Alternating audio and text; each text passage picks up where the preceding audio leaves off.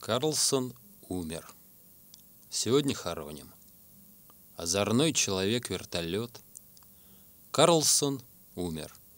Какая ирония. Тот, который на крыше живет. Собирать только близких решили. Вот оградка летая за ней, малыши необычно большие из обычных, не шведских, семей.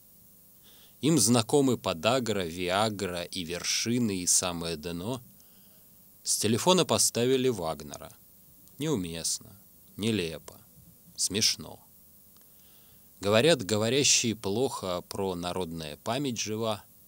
Про закончилась эта эпоха и другие такие слова. Как тянул, удивительно. Столько неизбывную радость свою в опустевшем как мозг алкоголика, подмосковном осеннем раю. Вот на кнопку на пузе героя уж нажали, и горькую пьем, и пропеллер, как бур метростроя, начинает входить в глинозем. Самолет в небесах над погостом тянет белую-белую нить. Да, спокойствие, только спокойствие, как любил кое-кто говорить.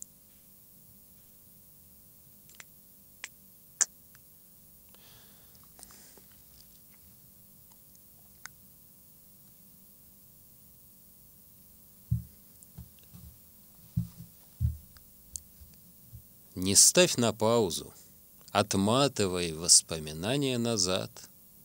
Девчонка с томиком Ахматовой, Прозрачный свет сквозь листопад и ты какой-то ранней версии, прикрыв разводы на плаще, втираешь ей, что солнце вертится вокруг нее. И вообще.